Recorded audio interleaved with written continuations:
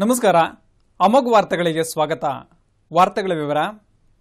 ಮಠ ಮಾನ್ಯಗಳನ್ನು ಸರ್ಕಾರದ ವಶಕ್ಕೆ ಪಡೆಯುವ ಪ್ರಯತ್ನ ಮಾಡಿದರೆ ರಾಜ್ಯದಲ್ಲಿ ಧರ್ಮಕ್ರಾಂತಿ ಶುರುವಾಗುತ್ತದೆ ಎಂದು ಮಾಜಿ ಸಚಿವ ಸುಗುಡು ಶಿವಣ್ಣ, ಮುಖ್ಯಮಂತ್ರಿ ಸಿದ್ದರಾಮಯ್ಯ ಅವರಿಗೆ ಎಚ್ಚರಿಕೆ ನೀಡಿದ್ದಾರೆ. ಮಠಮಾನ್ಯಗಳನ್ನ ಸರ್ಕಾರ ವಶಕ್ಕೆ ಪಡೆಯುವ ಪ್ರಯತ್ನ ನಡೆದರೆ ಧರ್ಮಕಾಂತ್ರಿಯಾಗುತ್ತದೆ. ಜನ ದಂಗೆ ಏಳುತ್ತಾರೆ. ಸಿಎಂ ಸಿದ್ದರಾಮಯ್ಯ ಇಂತಹ ಧರ್ಮ ವಿರೋಧಿ ಕೆಲಸಗಳನ್ನ ಬಿಟ್ಟು ಜನಪರ ಕೆಲಸಗಳ ಬಗ್ಗೆ ಗಮನ ಹರಿಸಲಿ ಎಂದು ಮಾಜಿ ಸಚಿವ ಸುಗುಡು ಶಿವಣ್ಣ ಹೇಳಿದರು.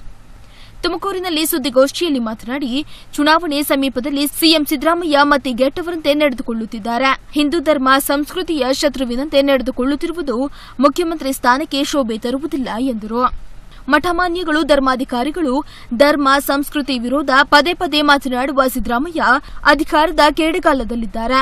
ಮಠ ಮಾನ್ಯಗಳು ಸರ್ಕಾರದ ವಶಕ್ಕೆ ಪಡೆಯುವ ಪ್ರಯತ್ನ ಮಾಡಿದರೆ ಜನ ದಂಗೆ ಏಳುತ್ತಾರೆ ಎಚ್ಚರ. ಅಂತಹ ಪ್ರಯತ್ನ ಕೈಬಿಡಲಿ ಎಂದು ಸೊಗಡು ಶಿವಣ್ಣ ಒತ್ತಾಯಿಸಿದ್ರು. ವಾಕ್ಸ್ವತಂತ್ರ ಹರಣ ಮಾಡಲು ಹೊರಟ ಇಂದಿರಾ ಗಾಂಧಿ ಮಣ್ಣು ಮುಕ್ಕಿದ್ರು. ಈಗ ಮಠ ಮಾನ್ಯಗಳನ್ನ ಹಿಡಿತಕ್ಕೆ ಪಡೆಯಲು ಹೊರಟಿರುವ ಸಿದ್ದರಾಮಯ್ಯ ಕೂಡ ಮಣ್ಣು ಮುಕ್ಕುವುದು ಖಚಿತ. ಸಮಾಜದ ಹಿತಕ್ಕಾಗಿ ಬಡವರಿಗೆ ಅನ್ನ, ವಿದ್ಯಾದಾನ ಮಾಡಲು ಮಠಗಳು ಶ್ರಮಿಸುತ್ತಿವೆ. ಮಠಾಧೀಶರು ಜೋಳಿಗೆ ಹಿಡಿದು ಭಿಕ್ಷೆ ಬೇಡಿ ಮಠಗಳನ್ನ ಕಟ್ಟಿದ್ದಾರೆ. ಮಠ ಮಾನ್ಯಗಳು ಸಿದ್ದರಾಮಯ್ಯನ ಆಸ್ತಿಯಲ್ಲ. ಹಿಂದೂ ಧರ್ಮ, ಸಂಸ್ಕೃತಿ ಬಗ್ಗೆ ಗೌರವ ಇದ್ದಿದ್ದರೆ ಸಿದ್ದರಾಮಯ್ಯ ಹೀಗೆಲ್ಲ ಯೋಚನೆ ಮಾಡುತ್ತಿರಲಿಲ್ಲ. ಇಂತಹ ದುಷ್ಟ ಬುದ್ಧಿ ವಿನಾಳಕ್ಕೆ ಕಾರಣರಾಗುತ್ತಾರೆ ಎಂದು ಸೊಗಡು ಶಿವಣ್ಣ ಎಚ್ಚರಿಕೆ ನೀಡಿದ್ರು. ಕಾಂಗ್ರೆಸ್ನವರು ಹಿಂದೂ ಧರ್ಮವನ್ನ ದಮನ ಮಾಡುತ್ತಲೇ ಹೆಜ್ಜೆ ಹಾಕುತ್ತಿದ್ದಾರೆ. ಸ್ವತಂತ್ರ ತಂದುಕೊಟ್ಟ ಮಹಾನುಭಾವರು ನಂತರ ಕಾಂಗ್ರೆಸ್ನವರನ್ನ ವಿಸರ್ಜಿಸಿ ನಿಮಗೆ ಬೇಕಾದ ಪಕ್ಷ ಕಟ್ಟಿಕೊಳ್ಳಿ ಎಂದು ಹೇಳಿದರು. ನೆಹರು ಸರ್ಕಾರದ ಅಧಿಕಾರ ವಹಿಸಿಕೊಂಡ ಕಾಂಗ್ರೆಸ್ ಪಕ್ಷವನ್ನ ಸ್ವಂತ ಮಾಡಿಕೊಂಡರು. ನೆಹರು ನಂತರ ಅವರ ಮಕ್ಕಳು, ಮೊಮ್ಮಕ್ಕಳು, ಮರಿಮಕ್ಕಳು ಕುಟುಂಬದ ಆಸ್ತಿ ಮಾಡಿಕೊಂಡಿರುವುದು ದುರಂತ ಎಂದರು. ಈಗ ಈಗ ಈಗ ಏನು ಅವರು ಸುತ್ತೋಲೆ ಅಂತ ಹೇಳ್ಕೊಂತಾರಲ್ಲ? ಸ್ವಾಮಿಗಳು, ಮಠಮಾನಿಗಳು, ಮಠ ಮಠ ಮಠಮಾನಿಗಳಿಗೆ ಏನು ಹೇಳ್ತಾರಲ್ಲ? ಅದನ್ನೆಲ್ಲ ಬಿಟ್ಟು ಬಿಡಬೇಕು ಯಾಕೆಂದ್ರೆ ಧರ್ಮಗುರುಗಳು, ನಾನು ನಿಮ್ಗೆ, ರಂಗಣ್ಣ ನಿಮ್ಗೆ ಹೇಳ್ತೀನಿ. ಯಾವ ಯಾವ ಭಿಕ್ಷೆ ಬೇಡಿ ಸಾಹೇಬ್ರೆ.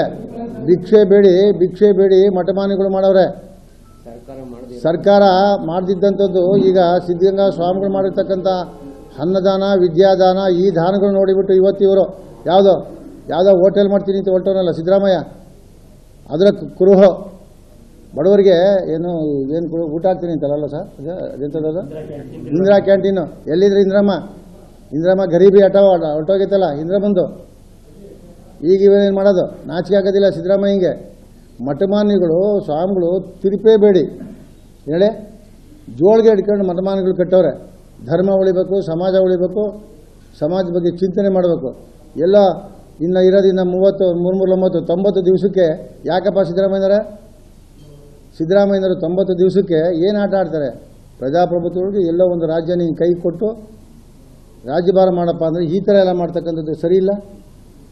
ಸ್ವಲ್ಪ ಮಾನ ಮರ್ಯಾದಿದ್ರೆ ಹೇಳೆ ಹಿಂದೂಗಳ ಬಗ್ಗೆ, ಈ ಈ ದೇಶದ ಜನಗಳ ಬಗ್ಗೆ ಗೌರವ ಇದ್ರೆ ಅದನ್ನು ಮಾಡ್ತಿರ್ಲಿಲ್ಲ. ಏನೇನೇನೇನು ನಮ್ಮ ಅಪ್ಪನ ಮನೆಯಿಂದ ತಂದು ಕೊಟ್ಟಿದ್ದೀವಾ? ಸಿದ್ದರಾಮಯ್ಯವ್ರ ಮನೆಯಿಂದ ತಂದು ಕೊಟ್ಟವರಾ? ಸಿದ್ದರಾಮಯ್ಯವರು ನಾನು ಹೆಂಗಿದ್ದೆ ಅನ್ನೋದು ಗೊತ್ತಿಲ್ಲ. ನಮ್ಮ ಇತಿಹಾಸನ ಜ್ಞಾಪಿಸ್ಕೊಂಬಿಟ್ರೆ ನಾವೇ ಹೇಳ್ಕೊಂತೀವಿ. ನಾನು ಅವರೇ ಅವರೇಕಾಯಿ ಮಾಡ್ತಿದ್ದೆ. ಸಿದ್ದರಾಮಯ್ಯ ಹೇಳ್ತಾನೆ, ನಾನು ಒಳಗೈತಿದ್ದೆ ಅಂತ. ಆ ಸ್ಥಿತಿಯೊಳಗೆ ಈಗೇನೋ ಸಿದ್ದರಾಮಯ್ಯ? ಅದನ್ನು ಜ್ಞಾಪಿಸ್ಕೋಬೇಕಲ್ಲ? ಜ್ಞಾಪಿಸ್ಕೊಂಡಲ್ಲಿ ಈ ಥರ ಹೇಳ್ತಕ್ಕಂಥದ್ದು ಉಗುಮವರೇ ದೇಶದೊಳಗೆ, ರಾಜ್ಯದೊಳಗೆ ಕ್ಷುಲ್ಲಕವಾಗಿರ್ತಕ್ಕಂಥ ವಿಷಯಗಳಿಗೆ ಇದನ್ನು ತಲೆ ಹಾಕಿ ಘಾಸಿ ಮಾಡ್ಕೊಳ್ತಕ್ಕಂಥದ್ದು ಸರಿ ಇಲ್ಲ. ಧರ್ಮ ಕ್ರಾಂತಿ ಆಗುತ್ತೆ ರೀ. ಇಂದ್ರ ಕುಮಾರ್ ಧರ್ಮ ಕ್ರಾಂತಿ ಆಗುತ್ತೆ. ಅದೇನ ಕ್ರಾಂತಿ ಆದ್ರೆ ಗತಿ ಹೇಳಿ. ಧರ್ಮಕ್ಕಾಗಿ ಕ್ರಾಂತಿ ಆಗಿರೋದು ಗೊತ್ತಲ್ಲ. ಹೇಳವ್ರ? ಹಾ. ಯಾಕೆಂದ್ರೆ ಅವ್ರೇನನ್ನ ಕಾಲ್ ಮಾಡಿಬಿಟ್ರೆ, ನಾಳೆ ಕಾಲ್ ಮಾಡಿಬಿಟ್ರೆ ಗತಿ ಹೇಳಿ. ಮುಖಂಡರಾದ ಎಂಬಿ ನಂದೀಶ್ ಕೆಪಿ ಮಹೇಶ್ ನಂಜುಂಡಪ್ಪ ಶಾಂತರಾಜು ಶಿವಣ್ಣ ಚಂದನ್ ಪಂಚಾಕ್ಷರಯ್ಯ ಸುದ್ದಿಗೋಷ್ಠಿಯಲ್ಲಿದ್ದರು. ಕೊಂಡ್ಲಿ ಕ್ರಾಸ್ ಪೆಟ್ರೋಲ್ ಬಂಕ್ ದರೋಡೆ ಮಾಡಿದ ವಿದೇಶಿಯರ ಪ್ರಕರಣವನ್ನು ರಾಷ್ಟ್ರೀಯ ತನಿಖಾ ದಳದ ತನಿಖೆಗೆ ಒಪ್ಪಿಸಬೇಕೆಂದು ಸೊಗಡು ಶಿವಣ್ಣ ಒತ್ತಾಯಿಸಿದ್ದಾರೆ.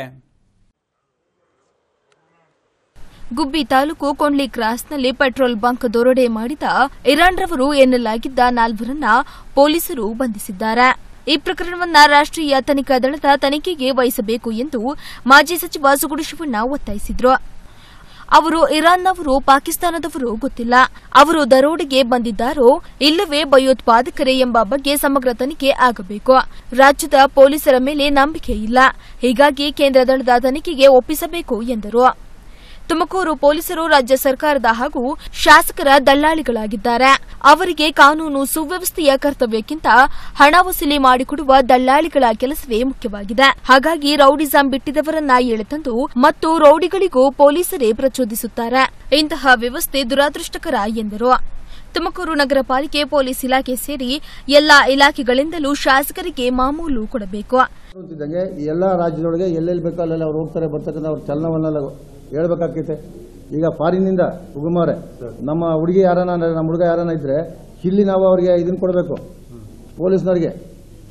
ಇಲ್ಲಿ ಪೊಲೀಸ್ನವ್ರಿಗೆ ಕೊಟ್ಟು ನಮ್ಮ ಹುಡುಗ ಇಲ್ಲ ಅವನೇ ನಮ್ಮ ಹುಡುಗಿ ಇಲ್ಲ ಅವರೇ ಮಾಹಿತಿ ಕೊಡಬೇಕು. ಅಂಥದ್ದು ಇವರು ಗೋವಾದಿಂದ ಬಂದಿರತಕ್ಕಂಥ ಗಾಡಿ ಗೋವಾದಾಗಲಿರ್ತಕ್ಕಂಥ ಇವರು ವಿದೇಶಿಯರು ನಮಗೆ ಬರಬೇಕಲ್ಲ? ಇವ್ರು ಇಟ್ಕೊಳ್ತಿದ್ದಾಗ ಹೇಳ್ಬೇಕಲ್ಲ? ನಿಮ್ಗಳಿಗೆ ನಿಮ್ಗಳ ಮುಂದೆ ಹೇಳ್ಬೇಕಲ್ಲ ಈ ಎಸ್ ಪಿ ಅವರು? ಈ ಪೊಲೀಸ್ ಹೇಳ್ಬೇಕಲ್ಲ? ಈ ಪೊಲೀಸ್ ಯಾಕೆ ಹೇಳ್ತಿಲ್ಲ? ನಾನು ಅದಕ್ಕೆ ನಿಮ್ಮ ಮುಖಾಂತರ ಹೇಳ್ತೀನಿ, ಈ ಸರ್ಕಾರ, ಈ ಹೊಂದಾಣಿಕೆ ಸರ್ಕಾರ ಅಲ್ಲ, ಅದಕ್ಕೆ ಈ ಪೊಲೀಸ್ನವರೆಲ್ಲ ಏನು ಮಾಡ್ಕೊಂಡವ್ರು ಇವಾಗ ಅಂದರೆ ಒಂಥರ ದಲ್ಲಾಳಿಗಳು ಮಾಡ್ಕೊಂಬಿಟ್ಟವ್ರೆ. ಪೊಲೀಸರು ದಲ್ಲಾಳಿಗಳಾಗ್ಬಿಟ್ಟವ್ರೆ. ಹೇಳಿ, ಈ ದಲ್ಲಾಳಿ ಹಾಂ ಹೌದು, ಸರ್ಕಾರಕ್ಕೆ ದಲ್ಲಾಳಿಗಳು. ಅಲ್ರಿ ಇವತ್ತು ಆ ಕೈಗೆ ಇದು ಸಿಕ್ಕಿದ ಮೇಲೆ ಎಷ್ಟು ಟ್ವೆಂಟಿ ಫೋರ್ ಅವರ್ಸ್ ಇದು ಮಾಡಬೇಕಲ್ಲ. ದಲ್ಲಾಳಿಗಳಾಗ್ಬಿಟ್ಟವ್ರೆ. ತದನಂತರ ಹೇಳಿ, ಈ ಕೇಸ್ನ ಇವ್ರು ಇನ್ವೆಸ್ಟಿಗೇಷನ್ ಮಾಡೋದು ಬೇಡ. ಸೆಂಟ್ರಲ್ ಇವರಿಗೆ ಕೊಡಲಿ. ಎನ್ ಐ ಇದೆಯಲ್ಲ? ಅವ್ರಿಗೆ ಕೊಟ್ಟರೆ ಯಾಕೆಂದ್ರೆ ವಿದೇಶಕ್ಕೆ ಬಂದಿರತಕ್ಕಂಥವ್ರು ದರ ದರೋಡೆಕೋರು ಅಂತ ಇವ್ರು ಹೇಳ್ತಾರೆ. ಇವರೇ ಹೇಳ್ತಾರೆ ದರೋಡೆಕೋರು ಅಂತ ಪೊಲೀಸ್ನವರು. ಇವರು ನನ್ನ ಧಾಟಿ ಒಳಗೆ ದರೋಡೆಕೋರಲ್ಲ. ಯಾಕೆಂದ್ರೆ ಇವರಿಗೆ ನಮ್ಮೂರಾಗಿದ್ದಂಥ ಆ ಯಾಸಿನ್ ಮುಜಾಯಿನ್ನೇ ಹಿಡ್ಕೊಳಕ್ಕೆ ಇವ್ರಿಗೆ ಆಗಲಿಲ್ಲ. ಹೊರದೇಶಕ್ಕೆ ಸಿಕ್ಕಿರೋರು ಇನ್ವೆಸ್ಟಿಗೇಷನ್ ಮಾಡಿ ಇವ್ರು ಏನು ಹೇಳ್ತಾರೆ ಇವರಿಗೆ? ಮಾನ ಮರ್ಯಾದೆ ಇದೆಯಾ? ಎನ್ ಐನವ್ರಿಗೆ ಕೊಡಬೇಕು. ಹೇಳಿ? ದರೋಡೆಕೋರ ಇಲ್ಲ ಇವರು ಉಗ್ರಾಮಿಗಳ ಏನು ಅಂತಕ್ಕಂಥದ್ದು ಅಲ್ಲಿಂದ ತಪಾಸಣೆ ಆಗಬೇಕು. ಅವಾಗ ರಾಜ್ಯಕ್ಕೆ, ರಾಷ್ಟ್ರಕ್ಕೆ ಒಂದು ಸ್ವಲ್ಪ ಧೈರ್ಯ ಬರುತ್ತಲ್ಲ ಇನ್ವೆಸ್ಟಿಗೇಷನ್ಸ್ ಇದಕ್ಕೆ ಯಾವನು ಅಂತ ಹೇಳಿ ಆ- ಆ ರೀತಿ ಆಗ್ತಕ್ಕಂಥದ್ದು ಬೇಕು ಅಂತ ಹೇಳಿ ನಾನು ಇದು ಮಾಡ್ತೀನಿ. ಯಾಕೆಂದ್ರೆ ಈ ಹೀಗಾಗಿ ಅಧಿಕಾರಿಗಳು ಜನರ ಕೆಲಸ ಮಾಡುವ ಬದಲು ಜನರನ್ನ ಸುಲಿಯುವಂತಾಗಿದೆ ಎಂದು ಸೊಗಡು ಶಿವಣ್ಣ ಹೇಳಿದರು. ವಿವಿಧ ಯೋಜನೆಗಳಲ್ಲಿ ಪಡೆದ ಸಾಲವನ್ನು ಸಕಾಲಕ್ಕೆ ಮರುಪಾವತಿಸಿ ಎಂದು ಫಲಾನುಭವಿಗಳಿಗೆ ಕುಣಿಗಲ್ ಶಾಸಕ ಡಿ ನಾಗರಾಜಯ್ಯ ತಿಳಿಸಿದ್ದಾರೆ. ಸರ್ಕಾರದ ವಿವಿಧ ಯೋಜನೆಯಡಿ ಸಾಲ ತೆಗೆದು ಬಳಸಿಕೊಂಡು ನಂತರ ಸಾಲ ತೀರಿಸದೆ ಹಾಗೆ ಇದ್ದು ಸುಸ್ತಿದಾರರಾದರೆ ಮುಂದೆ ಸಾಲ ಕೇಳಲು ಹೋಗುವವರಿಗೆ ಸಾಲ ನೀಡಲು ಬ್ಯಾಂಕ್ಗಳು ಮುಂದೆ ಬರೋಲ್ಲ. ಸಾಲ ತಗೊಂಡವರು ಈ ಬಗ್ಗೆ ಎಚ್ಚರ ವಹಿಸಿ ಸಾಲ ಮರುಪಾವತಿ ಮಾಡಿ ಎಂದು ಶಾಸಕ ಡಿ ನಾಗರಾಜಯ್ಯ ತಿಳಿಸಿದರು. ಕುಣಿಗಲ್ನ ಪಶು ವೈದ್ಯಕೀಯ ಸಹಾಯಕ ನಿರ್ದೇಶಕರ ಕಚೇರಿಯಲ್ಲಿ ಹಮ್ಮಿಕೊಳ್ಳಲಾಗಿದ್ದ ಪಶುಭಾಗ್ಯ ಅಮೃತ ಯೋಜನೆಯಡಿ ನೂರ ಇಪ್ಪತ್ತು ಫಲಾನುಭವಿಗಳಿಗೆ ಸಹಾಯಧನದ ಚೆಕ್ ವಿತರಣೆ ಮಾಡಿ ಮಾತನಾಡಿ, ತಾಲೂಕಿನಲ್ಲಿ ಈ ಹಿಂದೆ ಸರ್ಕಾರದ ವಿವಿಧ ಯೋಜನೆಯಡಿ ಸಾಲ ಮಂಜೂರು ಮಾಡಲಾಗಿದೆ. ಫಲಾನುಭವಿಗಳು ಯೋಜನೆಯಿಂದ ಲಾಭ ಪಡೆಯುತ್ತಿದ್ದರೂ ಸಾಲ ಮರುಪಾವತಿ ಮಾಡದೆ ನಿರ್ಲಕ್ಷ್ಯ ವಹಿಸಿರುವ ಕಾರಣ ಹೊಸದಾಗಿ ಆಯ್ಕೆಯಾಗುವ ಫಲಾನುಭವಿಗಳಿಗೆ ಸಾಲ ನೀಡಲು ಬ್ಯಾಂಕ್ಗಳು ಮುಂದೆ ಬರುತ್ತಿಲ್ಲ. ಸರ್ಕಾರದ ಸಾಲ ಸೌಲಭ್ಯ ಯೋಜನೆಯಡಿ ಕಾರುಗಳಿಗೆ ಸಾಲ ಮಂಜೂರಾತಿ ಮಾಡಿದ್ದು, ಕಾರುಗಳು ನಿರಂತರವಾಗಿ ಓಡಾಡುತ್ತಾ ಗಳಿಕೆ ಮಾಡುತ್ತಿದ್ದರೂ ಸಾಲ ಪಡೆದ ಫಲಾನುಭವಿಗಳು ಮರುಪಾವತಿ ಮಾಡುತ್ತಿಲ್ಲ. ಹೇಗಾದರೆ ಸಾರ್ವಜನಿಕರ ಠೇವಣಿ ಹಣದಲ್ಲಿ ನಡೆಯುವ ಬ್ಯಾಂಕ್ಗಳು ಹೇಗೆ ಆರ್ಥಿಕವಾಗಿ ಪ್ರಗತಿ ಸಾಧಿಸಲು ಸಾಧ್ಯವಾಗುತ್ತದೆ ಎಂಬುದರ ಬಗ್ಗೆ ಫಲಾನುಭವಿಗಳು ಚಿಂತನೆ ನಡೆಸಬೇಕು ಎಂದರು. ನಿಮ್ಗೆ ನಾವು ಸಬ್ಸಿಡಿ ಕೊಡ್ತೀವಿ, ಲೋನ್ ಅಂತ ಹೇಳಿ ನಿಮ್ ಕಡೆಯಿಂದಲೇ ಅರ್ಜಿನೂ ಕಳಿಸ್ಕೊಂಡು ಆದ್ರೂ ಕೆಲವು ಬ್ಯಾಂಕ್ನಲ್ಲಿ ಗೊತ್ತಿಲ್ಲ ಈ ಪರಿಣಾಮ ಡಾಕ್ಟರ್ ನಾಗರಾಜ್ ಹೇಳ್ತಾ ಇದ್ರು. ನಾನು ಹೋದ್ ಸರಿ ಉಳಿದಿಲ್ಲ ಬ್ಯಾಂಕ್ನಲ್ಲಿ ನಾವು ಸಬ್ಸಿಡಿ ತಗೊಂಡು ಕಟ್ಟಿದ್ರು ಅವ್ರು ಲೋನ್ ಕೊಡಲಿಲ್ಲ, ಇವ್ರು ಕಟ್ಟೋದಿಲ್ಲ ಅಂತ ಹೇಳ್ಬಿಟ್ಟು ವಾಪಸ್ಸು ಸರ್ಕಾರಕ್ಕೆ ದುಡ್ಡು ವಾಪಸ್ ಹೊಂದಿದ್ರು ಕೊಡಲಿಲ್ಲ ಅಂತ ಅಂತದ್ದು ಮಸ್ತಾಗಿದೆ. ಮೂರು ತಾಲೂಕಿನಲ್ಲಿ ಅಲ್ಲ ಅಥವಾ ಉಳಿದಿಲ್ಲ ಬ್ಯಾಂಕ್ ಮುಂದೆ ಅಲ್ಲ. ಇಡೀ ರಾಜ್ಯದಲ್ಲಿ ಇಂತಹ ವ್ಯವ- ಅವ್ಯವಸ್ಥೆ ಮಸ್ತಾಗಿರ್ತಕ್ಕಂಥ ಕಳೆದ ಸಾಲಲ್ಲಿ ನಾವು ಆರು ಸಾವಿರ ಸಬ್ಸಿಡಿ ಲೋನ್ ಕೊಟ್ಟಿದ್ದಾರೆ ಇದಕ್ಕೆ ನಾವು ಹತ್ತು ಸಾವಿರದಿಂದ ಹಿಡಿದು ಒಂಬತ್ತು ಸಾವಿರ ಎಂಟು ಸಾವಿರ, ಮೂವತ್ತು ಸಾವಿರ, ನಲವತ್ತು ಸಾವಿರ ಕೊಡ್ತೀವಿ.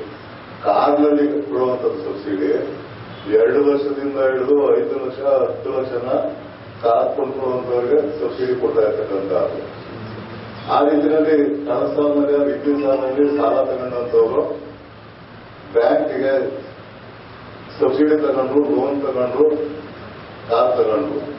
ಕಾರ್ ಸಂಪಾದನೆ ಮಾಡ್ತಾರೆ. ಆ ಸಂಪಾದನೆ ಮಾಡುವಂತವರು ಮತ್ತೆ ತಗೊಂಡೋಗಿ ಅದು ಏನ್ ಕಂತು ಕಟ್ಟಬೇಕಾಗಿತ್ತು ಆ ಕಂತು ಕಟ್ಟಲಿಲ್ಲ ಕಳೆದ ನಮ್ಮ ತಾಲೂಕಿಗೆ ಒಂದು ಬ್ಯಾಂಕ್ ನಡುವೆ ಹಿಂದೆ ತಗೊಂಡಿರ್ತಕ್ಕಂಥ ಸಾಲನ ವಾಪಸ್ ಕಟ್ಟಿಲ್ಲ.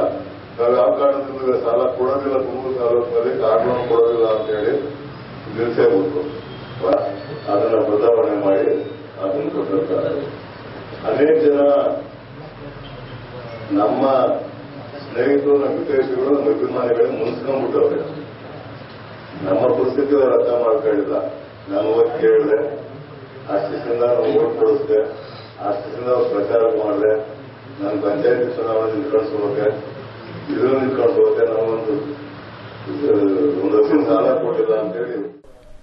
ಪಶುಸಂಗೋಪನೆ ಇಲಾಖೆ ಸಹಾಯಕ ನಿರ್ದೇಶಕ ಶಶಿಕಾಂತ್ ಬುದಿಹಾಳ್ ಮಾತನಾಡಿ, ಪಶು ಭಾಗ್ಯದ ಅರವತ್ತಾರು, ಅಮೃತ ಯೋಜನೆಯಡಿ ಐವತ್ನಾಲ್ಕು ಸೇರಿ ಒಟ್ಟು ನೂರ ಇಪ್ಪತ್ತು ಫಲಾನುಭವಿಗಳಿಗೆ ಒಟ್ಟಾರೆ ಇಪ್ಪತ್ತೆರಡು ಲಕ್ಷ ಸಹಾಯಧನ ಚೆಕ್ ನೀಡಲಾಗುತ್ತಿದೆ.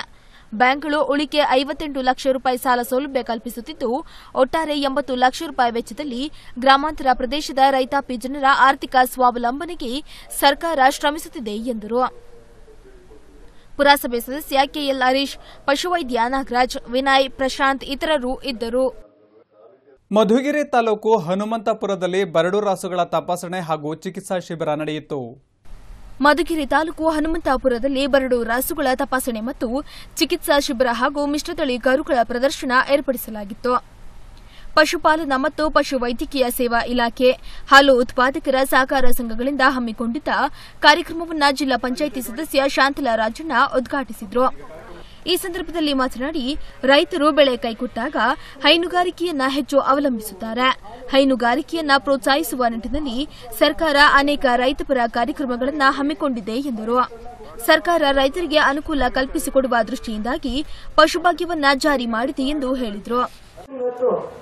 ಏನಿದು ಒಂದು ಹಾಲು ಹೈನುಗಾರಿಕೆಯನ್ನ ನಾವು ಮುಂದುವರಿಸಿದ್ರೆ ಆರ್ಥಿಕವಾಗಿ ನಾವು ಸಬಲರಾದಾಗ ನಾವು ಹಣವನ್ನ ಕೊಟ್ಟು ಸಹ ನಮಗೆ ಬೇಕಾದಂತೆ ದಿನಸಿನ ಕೊಂಡು ಹಸುವು ಮುಕ್ತವನ್ನಾಗಿ ಮಾಡುವಂತ ವ್ಯವಸ್ಥೆ. ಹಸುವು ಮುಕ್ತ ಮಾಡಬೇಕು ಅಂತ ಅನ್ಕೊಂಡಾಗ ಸನ್ಮಾನ್ಯ ಮುಖ್ಯಮಂತ್ರಿಗಳಾದ ಸಿದ್ದರಾಮಯ್ಯನವರು ಇವತ್ತು ಎಲ್ಲರಿಗೂ ಮನೆಗೆ ಐದು ಕೆಜಿ ಅಕ್ಕಿಯನ್ನ ಎಲ್ಲಾ ಬಡ ಕುಟುಂಬ ಏಳು ಕೆಜಿ. ಅಕ್ಕಿಯನ್ನ ಕೊಡುವಂತ ಪರಿಸ್ಥಿತಿ ನಿರ್ಮಾಣ ಮಾಡಿದ್ದಾರೆ. ಹಾಗಾಗಿ ಇವತ್ತು ಬಡತನದಲ್ಲಿ ಯಾರನ್ನು ಸಹ ಹಸಿವಿನಿಂದ ಬಳಲಬಾರದು ಅನ್ನೋದು ಒಂದು ಮುಖ್ಯ ಉದ್ದೇಶ ಇದೆ. ಆ ಉದ್ದೇಶ ಇವತ್ತು ಎಲ್ಲ ಹಳ್ಳಿಗಳಲ್ಲೂ ಗ್ರಾಮೀಣ ಮಟ್ಟದಲ್ಲಿ ಇವತ್ತು ಸಫಲರಾಗಿದ್ದಾರೆ. ಯಾರೂ ಸಹಿತ ಹಸುವಿನಿಂದ ಬಳಲ್ತಿಲ್ಲ. ಅದೇ ರೀತಿ ಇವತ್ತು ಹೈನುಗಾರಿಕೆಯಲ್ಲಿ ಸನ್ಮಾನ್ಯ ಚಂದ್ರು ಅವರು ಹೇಳಿದಂಗೆ ಪೇಮೆಂಟ್ನ ಸರಿಯಾದ ರೀತಿಯಲ್ಲಿ ನೀವು ಹಾಲು ತುಮಲಾಧ್ಯಕ್ಷ ಕೊಂಡವಾಡಿ ಚಂದ್ರಶೇಖರ್ ಮಾತನಾಡಿ, ಹೈನುಗಾರಿಕೆ ವಂಶ ಪಾರಂಪರ್ಯವಾಗಿ ರೈತರಲ್ಲಿ ಅರಿವಿರುವ ಉದ್ಯೋಗವಾಗಿದೆ. ಇದಕ್ಕೆ ಯಾವುದೇ ತರಬೇತಿ ಅವಶ್ಯಕತೆ ಇಲ್ಲವೆಂದರು. ಹಸುಗಳ ಆರೋಗ್ಯದ ಬಗ್ಗೆ ತಿಳಿಸಿಕೊಡಲು ಇಂತಹ ಕಾರ್ಯಕ್ರಮಗಳನ್ನು ಹಮ್ಮಿಕೊಳ್ಳಲಾಗಿದೆ ಎಂದರು. ಸಾರಿಯಂತೆ ನಮ್ಮ ಏನು ಪಶುವೈದ್ಯ ಇಲಾಖೆ ಜೊತೆಗೆ ನಮ್ಮ ತುಮಕೂರು ಹಾಲು ಒಕ್ಕೂಟ ಯಾವ ಭಾಗದಲ್ಲಿ ನಾವು ಈ ಬರಡು ರಾಸು ಶಿಬಿರನ ಮಾಡ್ತೀವಿ, ಆ ಭಾಗದ ನಮ್ಮ ಹಾಲು ಉತ್ಪಾದಕ ಸದ ಸಂಘಗಳನ್ನ ಜೊತೆಗೆ ಆ ಭಾಗದ ಹಾಲು ಉತ್ಪಾದಕರನ್ನು ಸೇರಿಸಿಕೊಂಡು ಒಟ್ಟಿಗೆ ಬಡ ರಾಸು ಶಿಬಿರ ಮಾಡಿಸ ಏರ್ಪಾಡು ಮಾಡೋ ಅಂಥದ್ದು ಇದೆಲ್ಲ ಸಂಪೂರ್ಣವಾಗಿ ರೈತರಿಗೆ ಅನುಕೂಲ ಆಗಲಿ ಅನ್ನೋ ದೃಷ್ಟಿಯಿಂದ ಈ ಕಾರ್ಯಕ್ರಮನ ಕೊಡ್ತಾ ಇರೋದು. ಮುಖ್ಯವಾಗಿ ಇವತ್ತೇನು ಮಳೆ, ಇವತ್ತೇನೋ ಸ್ವಲ್ಪ ಮಳೆ ಏನೋ ಜನಗಳಿಗೆ ತೊಂದರೆ ಕೊಡಕ್ಕೆ ಬರ್ತಾ ಇರೋದು ಇದು. ಈಗಾಗಲೇ ಎಲ್ಲ ಕೆಮ್ಮು ಕೆಮ್ಮು, ನೆಗಡಿ, ತಲೆಬಾರ ಎಲ್ಲ ಶುರು ಆಗ್ತಾ ಐತೆ ಏನೋ ಸ್ವಲ್ಪ ಮಳೆ ಬರ್ತಾ ಐತೆ ಇವತ್ತು. ಗ್ರಾಮ ಪಂಚಾಯಿತಿ ಅಧ್ಯಕ್ಷೆ ಜಲಜಾಕ್ಷಿ ಅಧ್ಯಕ್ಷತೆ ವಹಿಸಿದ್ರು. ಜಿಲ್ಲಾ ಪಂಚಾಯಿತಿ ಸದಸ್ಯರಾದ ಜಿಜೆ ರಾಜಣ್ಣ ಚೌಡಪ್ಪ ತಾಲೂಕು ಪಂಚಾಯಿತಿ ಅಧ್ಯಕ್ಷೆ ಇಂದಿರಾ ದೇನಾ ನಾಯಕ್ ಬೆಡತೂರು ಗ್ರಾಮ ಪಂಚಾಯಿತಿ ಅಧ್ಯಕ್ಷ ತಿಮ್ಮಾರೆಡ್ಡಿ, ಮಿಡಿಗೇಶಿ ಗ್ರಾಮ ಪಂಚಾಯಿತಿ ಉಪಾಧ್ಯಕ್ಷ ಎಸ್ಎನ್ ರಾಜು ಮತ್ತಿತರರು ಪಾಲ್ಗೊಂಡಿದ್ರು. ಕೂಲಿ ಅರಸಿ ಬಂದು ತುಮಕೂರಿನಲ್ಲಿ ನೆಲೆ ನಿಂತಿರುವ ಕುಟುಂಬದ ಹೆಣ್ಣು ಮಕ್ಕಳ ಮೇಲೆ ಅತ್ಯಾಚಾರ ನಡೆಯುತ್ತಿದೆ. ಪೊಲೀಸರು ಪ್ರಕರಣ ಮುಚ್ಚಿ ಹಾಕುತ್ತಿದ್ದಾರೆ ಎಂದು ಮಾಜಿ ಸಚಿವ ಸೊಗಡು ಶಿವಣ್ಣ ಆಪಾದಿಸಿದ್ದಾರೆ. ಕೂಲಿ ಅರಸಿ ರಾಯಚೂರು, ಗುಲ್ಬರ್ಗ ಕಡೆಯಿಂದ ಬಂದು ತುಮಕೂರಿನಲ್ಲಿ ಗುಡಿಸಲು ಹಾಕಿಕೊಂಡು ವಾಸಿಸುತ್ತಿರುವ ಕುಟುಂಬಗಳ ಹೆಣ್ಣು ಮಕ್ಕಳ ಮೇಲೆ ದುಷ್ಕರ್ಮಿಗಳು ಅತ್ಯಾಚಾರ ನಡೆಸಿದ್ದಾರೆ. ಅಂತಹವರ ವಿರುದ್ಧ ಕ್ರಮ ತೆಗೆದುಕೊಳ್ಳಬೇಕಾದ ಪೊಲೀಸರು ಪ್ರಕರಣವನ್ನ ಮುಚ್ಚಿ ಹಾಕಿದ್ದಾರೆ ಎಂದು ಮಾಜಿ ಸಚಿವ ಸುಗುಡು ಶಿವಣ್ಣ ಹೇಳಿದರು. ಕೂಲಿ ಅರಸಿ ಬಂದಿರುವ ಕುಟುಂಬಗಳು ನಗರದ ರಿಂಗ್ ರಸ್ತೆ ಬದಿ ಗುಡಿಸಲು ಹಾಕಿಕೊಂಡು ವಾಸಿಸುತ್ತಿದ್ದಾರೆ. ಇವರ ಹೆಣ್ಣು ಮಕ್ಕಳಿಗೆ ರಕ್ಷಣೆ ಇಲ್ಲ. ದುಷ್ಟರು ಗುಡಿಸಲಿಗೆ ನುಗ್ಗಿ ಹೆಣ್ಣು ಮಕ್ಕಳ ಮೇಲೆ ಅತ್ಯಾಚಾರ ನಡೆಸಿದ್ದಾರೆ. ಅಂತಹ ಪ್ರಕರಣಗಳನ್ನು ಪೊಲೀಸರು ಮುಚ್ಚಿ ಹಾಕಿರುವುದು ಅವರಿಗೆ ನಾಚಿಕೆಯಾಗಬೇಕು ಎಂದರು. ತುಮಕೂರು ಎಸ್ಪಿಯವರು ದಿಟ್ಟತನದಿಂದ ಕೆಲಸ ಮಾಡಲಿ. ಒಳ್ಳೆ ಕೆಲಸ ಮಾಡುವ ನಿಮಗೆ ಜನ ಬೆಂಬಲ ನೀಡುತ್ತಾರೆ. ದುಷ್ಟರನ್ನ, ದುಷ್ಟ ಕೃತ್ಯಗಳನ್ನ ಪೊಲೀಸರು ಬೆಂಬಲಿಸದಂತೆ ಎಚ್ಚರ ವಹಿಸಿ ಎಂದು ಸೊಗಡು ಶಿವಣ್ಣ ಹೇಳಿದ್ರು. ಇಷ್ಟೊತ್ತಿಗೆ ಕೊಡಬೇಕಾಗಿತ್ತು ನಿಮಗೆ. ಎಷ್ಟು ಜನ ಅದಕ್ಕೆ ಭಾಗಸ್ಥರು. ಬರೀ ಹಿಂದೂಗಳ ಅದ್ರ ಜೊತೆಗೆ ಮುಸಲ್ಮಾನರವರ ಮುಸಲ್ಮಾನರವರೇ ಉಗಮವರೇ ಆ ಕೇಸ್ ಒಳಗೆ. ಇವರು ಇನ್ನೂ ಕೊಟ್ಟಿಲ್ಲ. ಬೇಕಾಬಿಟ್ಟು ಮಾಡ್ತಕ್ಕಂಥದ್ದು. ಇದೇನು ಇದೇನು ಹುಡುಗಾಟನ? ಇದೇನು ಹುಡುಗಾಟನ? ಈ ಪೊಲೀಸ್ನವ್ರು ಏನು ಅಂತ ತಿಳ್ಕೊಂಬಿಟ್ಟಾರೆ ಸರ್ ನಾವು ಅನೇಕ ಪ್ರಚೋದನೆ ಮಾಡಿದ್ರೆ ಮುಸ್ಲಿಂ. ಆ? ಪ್ರಚೋದನೆ ಮಾಡಿದ್ರೆ ಮುಸ್ಲಿಂ. ಅಲ್ಲಲ್ಲ ಅದು ಮರ್ಡರ್ ಕೇಸು ವಿನೀಲ್ ಕುಮಾರ್. ಆ ಮರ್ಡರ್ ಕೇಸ್ನ ಈಗ ನಾನು ಮಾಡಿನ ನೀವು ಮಾಡಿನ ಯಾರು ಮಾಡಿರೋ ಅಂತ ಇನ್ವೆಸ್ಟಿಗೇಷನ್ ಮಾಡಲಿ. ಯಾರು ಎಲ್ಲ ಇರಬೇಕು ಅದು ಮಾಡಲಿ. ಅಲ್ವಾ ಪುರುಷೋತ್ತಮ? ಅದು ಬಿಟ್ಬಿಟ್ಟು ಇದು ಏನಿದು? ಇಂಥ ಉದಾಹರಣೆಗಳು. ನೀವು, ಅದು ಇರಲಿ. ಮೊನ್ನೆ ಇದೊಂದು ಮೂರು ತಿಂಗಳೊಳಗೆ ಈಗ ರಾಯಚೂರು, ಬೀದರ್ ಕಡೆಯಿಂದ ಗುಳೆ ಬಂದವ್ರೆ. ಹೈವೇ ಒಳಗೆ ಅವ್ರೆ. ಯಾವುದೋ ರಿಂಗ್ ರೋಡ್ ಒಳಗೆಲ್ಲ ಅವ್ರೆ. ನೀವು ಹಂಗೆ ಗುಡ್ಡುಗಳು ಹಾಕೊಂಡು ನೋಡ್ಕೊಂಬನ್ನಿ. ನಾನೆಲ್ಲ ಅದು ನೋಡ್ಕೊಂಬಂದಿದ್ದೀನಿ. ಅಲ್ಲಿ ಒಳ್ಳೆ ತಕ್ಕಂಥ ಕೂಲಿ ಮಾಡೋಕ್ಕೆ ಬಂದಿರತಕ್ಕಂಥ ಹೆಣ್ಣು ಮೇಲೆ ಅಲ್ಲಿ ರೇಪ್ ಆಗಿದೆ. ಇದನ್ನು ಮುಚ್ಚಾಕವ್ರೆ. ನಿಮಗೆ ಸುಮ್ಮನೆ ಉದಾಹರಣೆ ಕೊಟ್ಟೆ ಅದು ಇನ್ನೊಂದು ದಿವಸ ಹೇಳ್ತೀನಿ ಈ- ಈ ಪೊಲೀಸ್ನವ್ರದ್ದು ಕಥೆ ಎಲ್ಲ ಇವತ್ತು ಪೊಲೀಸೇ ಇಲ್ಲ ಮರೆಯ ನೀವು ಯಾವುದನ್ನ ಅಷ್ಟೊಂದು ದೊಡ್ಡ ಇದಾಗಿದೆ, ಇವರು ಮುಚ್ಚಾಕ್ತಾರೆ ಅಂತಂದ್ರೆ ಏನು ಮಾಡೋದು? ಆಮೇಲೆ ರೌಡಿಗಳು, ಈಗೆಲ್ಲ ರೌಡಿತನ ಬಿಟ್ಬಿಟ್ಟು ಮಾನ ಮರ್ಯಾದೆ, ಅವರ ಮಕ್ಕಳು ಮರಿನೆಲ್ಲ ವಿದ್ಯಾಭ್ಯಾಸ ಮಾಡಿಸ್ಕೊಂಡಿದ್ರೆ ಆ ರೌಡಿಗಳನ್ನ ಕರೆದು ಬಿಡೋದು ಇನ್ನೂ ರೌಡಿತನ ಮಾಡುವಂಥ ದುಡ್ಡು ವಸೂಲಿ ಮಾಡೋದು. ಅವ್ರೇನು ಮಾಡ್ತಾರೆ? ಒಳ್ಳೆಯರಾಗಕ್ಕೆ ಬಿಡೋದಿಲ್ಲ ಇವರು. ಯಾರನ್ನ ಪುಡಿ ರೌಡಿಗಳು ಇರ್ತಾರಲ್ರಿ, ನಮ್ಮೂರೊಳಗೆ, ಆ ಪುಡಿ ರೌಡಿಗಳನ್ನ ತಿರ್ಗಾ ಕರ್ಕೊಂಬರೋದು ಇನ್ವೆಸ್ಟಿಗೇಷನ್ ಮಾಡೋದು.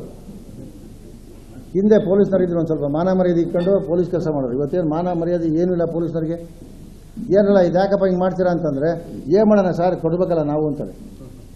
ಪೊಲೀಸ್ನವ್ರನ್ನ ಕೆಲಸ ಮಾಡಕ್ಕೆ ಬಿಟ್ಟಿಲ್ಲ ಇವರು.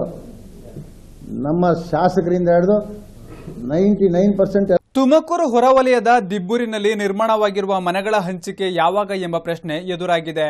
ಉತ್ತರಿಸುವವರು ಮಾತ್ರ ಯಾರೂ ಇಲ್ಲ. ಈ ಬಗ್ಗೆ ಒಂದು ವರದಿ ಇಲ್ಲಿದೆ.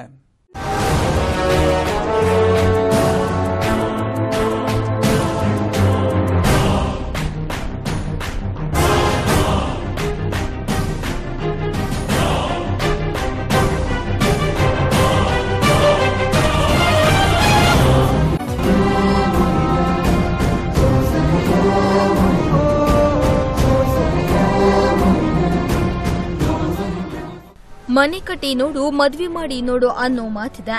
ಉಳ್ಳವರು ಐಷಾರಾಮಿಯಾಗಿ ಮನೆ ಕಟ್ತಾರೆ. ಅದ್ಧೂರಿಯಾಗಿ ಮದ್ವೆನೂ ಮಾಡ್ತಾರೆ.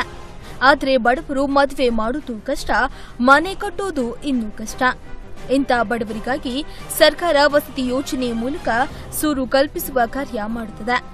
ಬಡವರು ಮನೆ ಪಡೆದು ನೆಮ್ಮದಿಯಾಗಿರಲಿ ಎಂಬುದು ಯೋಜನೆಯ ಉದ್ದೇಶ.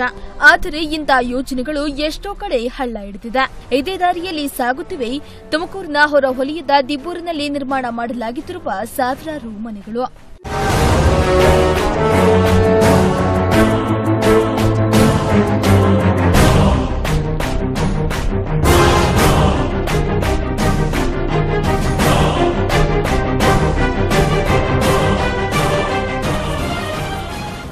ರಾಜೀವ್ ಆವಾಸ್ ಯೋಜನೆಯಲ್ಲಿ ಸುಮಾರು ಎಂಬತ್ತೈದು ಕೋಟಿ ರೂಪಾಯಿ ಹಣ ಖರ್ಚು ಮಾಡಿ ದಿಬ್ಬೂರಿನಲ್ಲಿ ಸಾವಿರದ ಇನ್ನೂರ ಮನೆಗಳನ್ನು ನಿರ್ಮಿಸಲಾಗಿದೆ. ಸುಸರ್ಜಿತವಲ್ಲದಿದ್ದರೂ ಇದ್ದಿದ್ದಲ್ಲಿ ಬೆಟರ್ ಎನ್ನುವಂತೆ ಮನೆಗಳನ್ನು ಕಟ್ಟಲಾಗಿದೆ.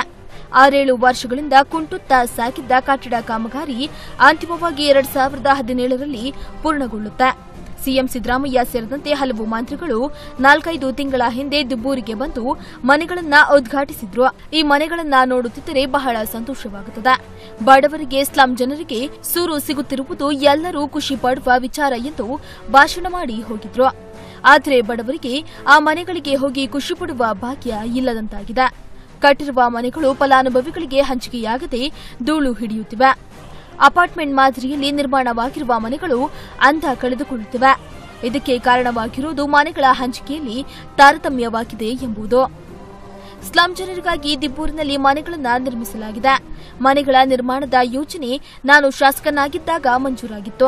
ನಾನು ಮುತುವರ್ಜಿ ವಹಿಸಿ ಮನೆಗಳ ನಿರ್ಮಾಣ ಕಾರ್ಯ ಆರಂಭಿಸಿದೆ. ಆರಂಭದಲ್ಲೇ ಫಲಾನುಭವಿಗಳನ್ನು ಗುರುತಿಸಿ, ಎಲ್ಲಾ ವರ್ಗದ ಬಡವರನ್ನ ಗುರುತಿಸಿ, ಪಟ್ಟಿ ತಯಾರಿಸಿ ಮನೆ ಹಂಚಿಕೆ ತೀರ್ಮಾನ ಮಾಡಿದ್ದೆವು. ಆದರೆ ಈಗ ಅನ್ಯಾಯ ಮಾಡಲಾಗಿದೆ. ಹಳೆ ಪಟ್ಟಿಯಲ್ಲಿರುವ ಫಲಾನುಭವಿಗಳನ್ನ ಕೈಬಿಟ್ಟು ತನಗೆ ಬೇಕಾಗಿರುವವರಿಗೆ ಶಾಸಕ ಡಾ. ರಫೀಕ್ ಅಹಮದ್ ಮನೆ ಹಂಚಿಕೆಗೆ ಮುಂದಾಗಿದ್ದಾರೆ ಎಂದು ಸೊಗಡು ಶಿವಣ್ಣ ಆರೋಪಿಸಿದ್ದಾರೆ. ಯಾವುದೇ ಕಾರಣಕ್ಕೂ ಬಡವರಿಗೆ ಅನ್ಯಾಯವಾಗಲು ಬಿಡಲ್ಲ. ತಾರತಮ್ಯವನ್ನ ಸಹಿಸಲ್ಲ. ನ್ಯಾಯಕ್ಕಾಗಿ ಬೀದಿಗಿಳಿದು ಹೋರಾಡುತ್ತೇನೆ.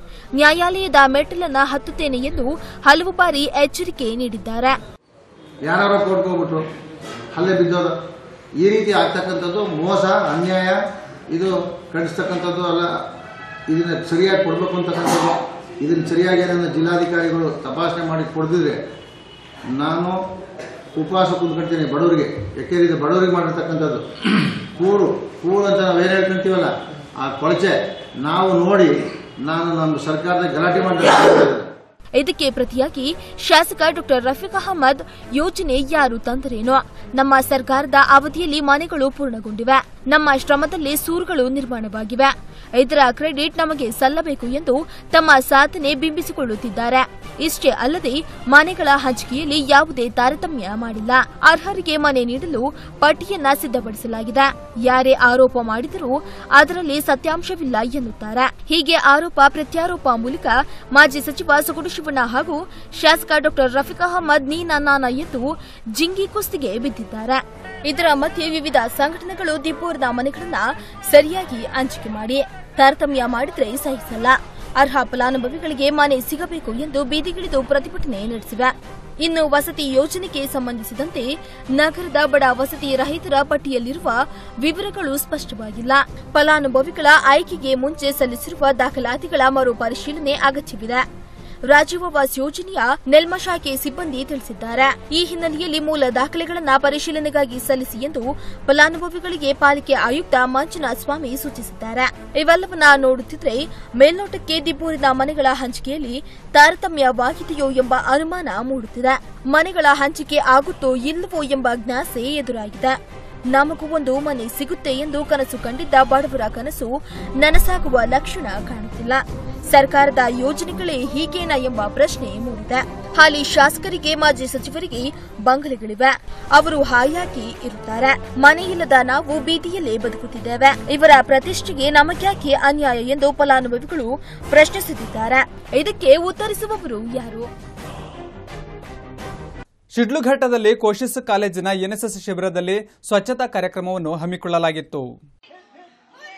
ದಿನದಿಂದ ದಿನಕ್ಕೆ ಹೆಚ್ಚಾಗುತ್ತಿರುವ ಮಾಲಿನ್ಯ ತಡೆಗಟ್ಟಿ ಆರೋಗ್ಯವಂತ ಸಮಾಜ ನಿರ್ಮಾಣ ಮಾಡುವಲ್ಲಿ ಯುವಜನರ ಪಾತ್ರ ಮಹತ್ವವಾದದ್ದು ಎಂದು ಬೆಂಗಳೂರಿನ ಕೋಶಿಶ್ ವಿದ್ಯಾಸಂಸ್ಥೆಯ ಎನ್ಎಸ್ಎಸ್ ವ್ಯವಸ್ಥಾಪಕರಾದ ಮಧುಸೂದನ್ ಜೋಶಿ ತಿಳಿಸಿದರು. ಶಿಡ್ಲಘಟ್ಟದ ಸಿದ್ಧಾರ್ಥ ನಗರದ ಸರ್ಕಾರಿ ಹಿರಿಯ ಪ್ರಾಥಮಿಕ ಶಾಲೆಯ ಆವರಣದಲ್ಲಿ ಬೆಂಗಳೂರಿನ ಕೋಶಿಶ್ ವಿದ್ಯಾಸಂಸ್ಥೆ, ಕೋಶಿಶ್ ಆಸ್ಪತ್ರೆ ಹಾಗೂ ನಗರಸಭೆಯ ಸಹಯೋಗದಲ್ಲಿ ಆಯೋಜಿಸಿದ್ದ ಎನ್ಎಸ್ಎಸ್ ಶಿಬಿರದಲ್ಲಿ ಸ್ವಚ್ಛತೆ ನಡೆಸಿ ನಂತರ ಮಾತನಾಡಿದರು. ಹೆಚ್ಚಾಗುತ್ತಿರುವ ಕೈಗಾರೀಕರಣ, ಮಾನವರಿಂದ ಪರಿಸರದ ಮೇಲೆ ಆಗುತ್ತಿರುವ ನಿರಂತರ ದಬ್ಬಾಳಿಕೆ, ಸ್ವಚ್ಛತೆಯ ಕಡೆಗೆ ಜನರಲ್ಲಿರುವ ನಿರ್ಲಕ್ಷ್ಯ ಮನೋಭಾವನೆಯಿಂದಾಗಿ ಇಂದು ಪರಿಸರ ಸಂಪೂರ್ಣವಾಗಿ ನಾಶವಾಗುತ್ತಿದೆ. ವಾಯುಮಾಲಿನ್ಯ, ಜಲಮಾಲಿನ್ಯದಿಂದ ದೇಶ ತತ್ತರಿಸುತ್ತಿದೆ. ನಾವು ಕುಡಿಯುವ ನೀರಿನಲ್ಲಿ ವಿಷಕಾರಿ ಅಂಶಗಳು ಪತ್ತೆಯಾಗುತ್ತಿವೆ. ಈ ಬಗ್ಗೆ ಜನರಲ್ಲಿ ಜಾಗೃತಿ ಮೂಡಿಸುವುದು ಅನಿವಾರ್ಯವಾಗಿದೆ. ಯುವಜನರು ಕಾಳಜಿ ವಹಿಸಿದರೆ ಯಶಸ್ಸು ಕಾಣಬಹುದಾಗಿದೆ ಎಂದರು. ಜನರಿಗೂ ತಿಳುವಳಿಕೆಯನ್ನು ಪಡಿಸ್ಕೊಳ್ತಕ್ಕಂತಹ ಕೆಲಸಗಳನ್ನು ಮಾಡಿದ್ವಿ. ಅದಾದ ಮೇಲೆ ಇವತ್ತಿನ ದಿನ ಶಿಡ್ಲಘಟ್ಟದಲ್ಲಿ ಈ ಸರ್ಕಾರಿ ಶಾಲೆಯಲ್ಲಿ ಎಲ್ಲ ಐವತ್ತು ಜನ ವಿದ್ಯಾರ್ಥಿಗಳು ಮತ್ತು ನಾಲ್ಕು ಜನ ಉಪನ್ಯಾಸಕರನ್ನು ಒಳಗೊಂಡಂತಹ ಪಡೆ ಇಲ್ಲಿ ಕ್ಲೀನಿಂಗ್ ಕೆಲಸವನ್ನು ನಡೆಸ್ಕೊಡ್ತು. ನಿಜವಾಗ್ಲೂ ಇದರಲ್ಲಿ ಚಲಪತಿ ಸರ್ ಆಗಿರ್ಬೋದು ಮತ್ತು ಹೆಲ್ತ್ ಇನ್ಸ್ಪೆಕ್ಟರ್ ಇಲ್ಲಿ ಶಿಡ್ಲಘಟ್ಟದವರಾಗಿರ್ಬೋದು ಎಲ್ಲರೂ ತಮ್ಮ ಉಪಸ್ಥಿತಿಯನ್ನು ತೋರಿಸ್ಕೊಟ್ರು.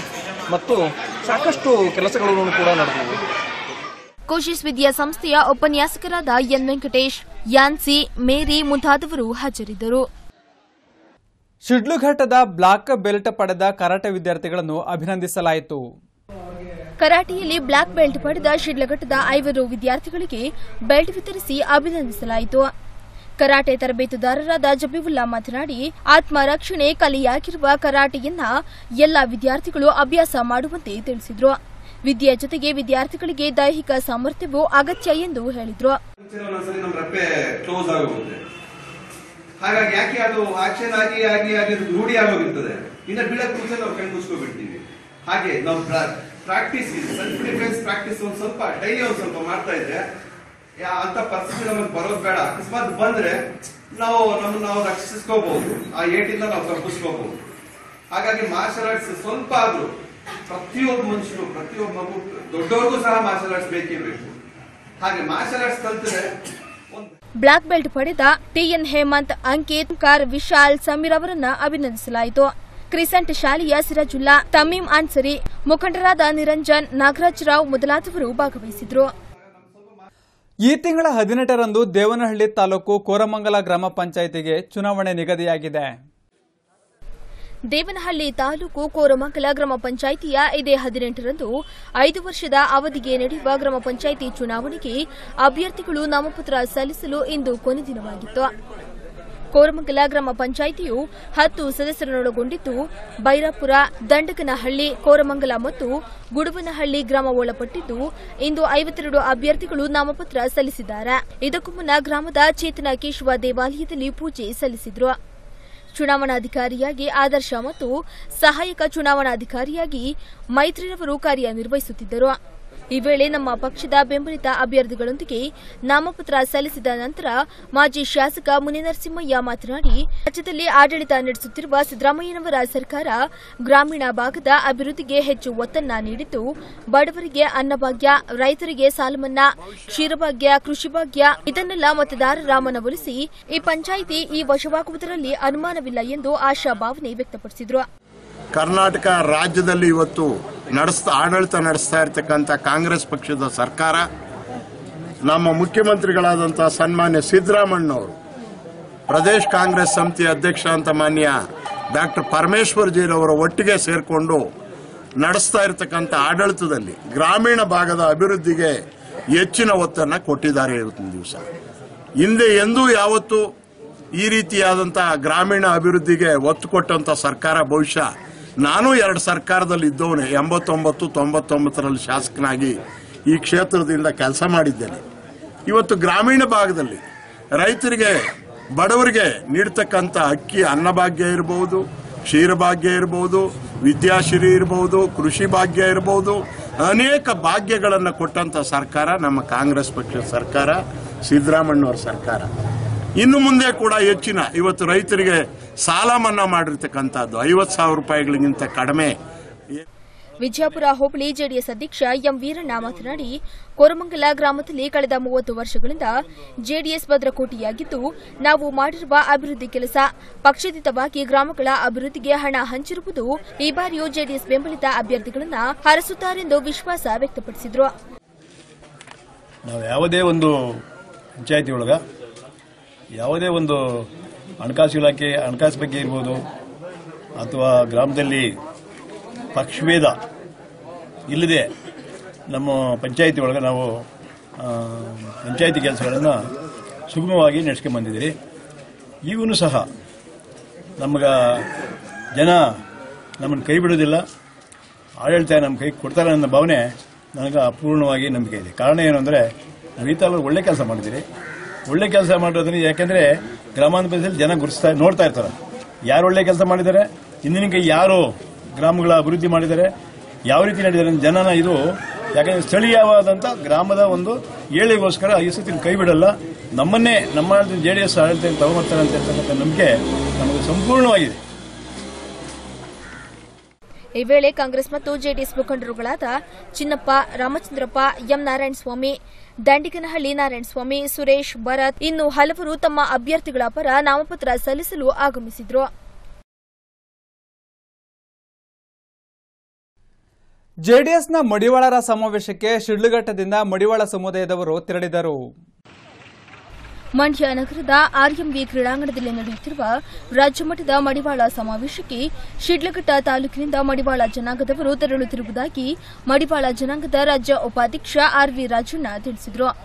ಪ್ರವಾಸಿ ಮಂದಿರದ ಆವರಣದಲ್ಲಿ ಮಂಡ್ಯ ನಗರದ ಆರ್ಎಂವಿ ಕ್ರೀಡಾಂಗಣದಲ್ಲಿ ನಡೆಯುತ್ತಿರುವ ಜನಜಾಗೃತಿ ಸಮಾವೇಶಕ್ಕೆ ತೆರಳುತ್ತಿರುವ ಬಸ್ಗಳಿಗೆ ಚಾಲನೆ ನೀಡಿ ಮಾತನಾಡಿದರು. ಮಂಡ್ಯ ನಗರದ ಆರ್ಎಂವಿ ಕ್ರೀಡಾಂಗಣದಲ್ಲಿ ನಡೆಯುತ್ತಿರುವ ರಾಜ್ಯಮಟ್ಟದ ರಾಜನ ಜಾಗೃತಿ ಸಮಾವೇಶಕ್ಕೆ ತಾಲೂಕಿನಿಂದ ಸುಮಾರು ಐದು ಬಸ್ಗಳನ್ನು ಜೆಡಿಎಸ್ ಮುಖಂಡ ಮೇಲೂರು ರವಿಕುಮಾರ್ ಅವರು ವ್ಯವಸ್ಥೆ ಮಾಡಿದ್ದು, ಸುಮಾರು ನಾನ್ನೂರಕ್ಕೂ ಹೆಚ್ಚು ಜನರು ಸಮಾವೇಶಕ್ಕೆ ತೆರಳುತ್ತಿರುವುದಾಗಿ ಹೇಳಿದರು. ಒಂದು ಗಮನವನ್ನು ಸೆಳೆಯೋ ಕಾರಣಕ್ಕಾಗಿ ಈ ಒಂದು ಸಮಾವೇಶವನ್ನು ಆಯೋಜಿಸಲಾಗಿದೆ.